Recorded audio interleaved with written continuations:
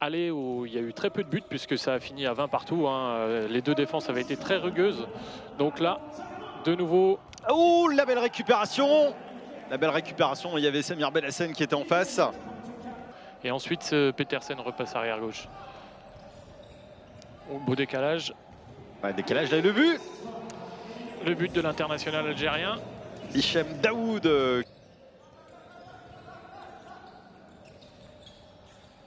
On va jouer avec l'ailier, c'est bien joué ça Ça passe sous les jambes de Samir Belhassen. Ça joue rapidement, Petersen.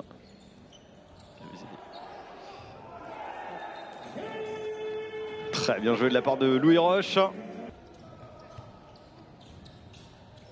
Ça repart assez vite, il va tout seul, mais c'est bien joué.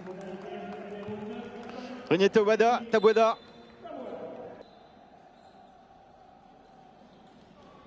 Allez, c'est dedans, l'égalisation du coup de Dunkerque.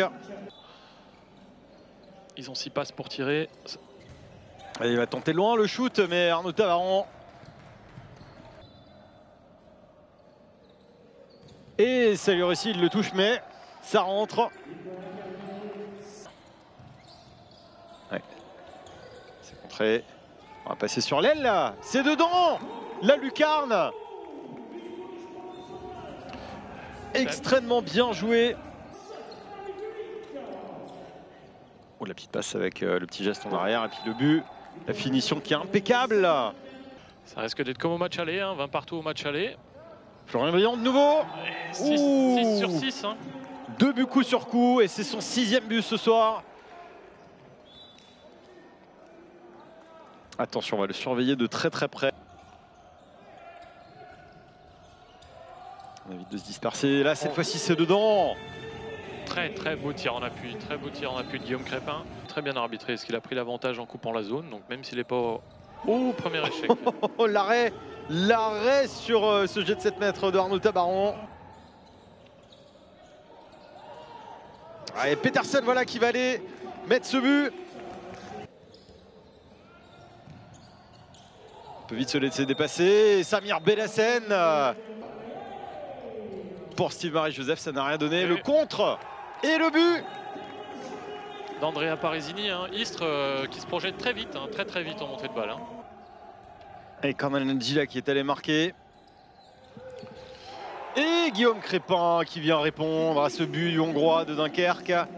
On est toujours habitué à, à faire de, de- de bons matchs et euh, pareil hein, pour, euh, pour cette bueur Clément Godin. Et là, par contre, il est battu.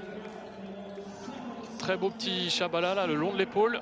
C'est des types, des types de joueurs de duel, donc forcément un peu plus compliqué. Allez, Nielsen euh, qui vient marquer.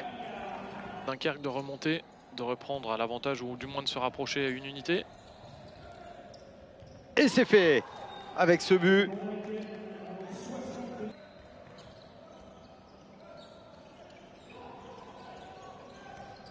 Allez, tout va jouer là dans les 3 minutes 30 qui viennent. Et le but Le but du numéro 44, Louis Roche. des moments un peu rugueux, mais il y a- il y, a toujours eu du respect, du fair play. C'est euh, Ça fait plaisir à voir. Et attention, cet arrêt de Arnaud Tabaron. C'est peut-être le tournant du match.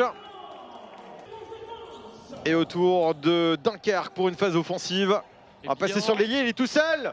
Ça touche le poteau. Mais pas de chance, pas de chance pour Dunkerque.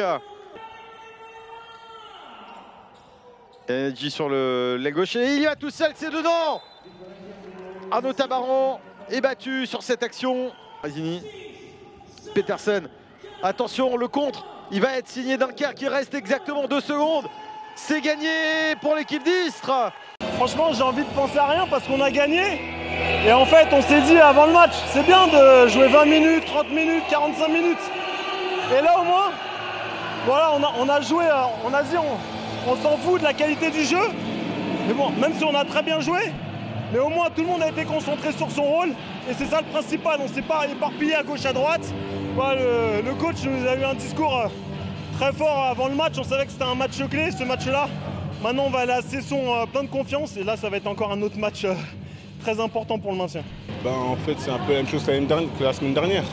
On fait une bonne première mi-temps, mais sauf qu'on n'arrive pas à rentrer dans la deuxième. On a un gros, temps faible, un gros temps faible qui, qui fait qu'on court après le score ben, après pendant 25 minutes.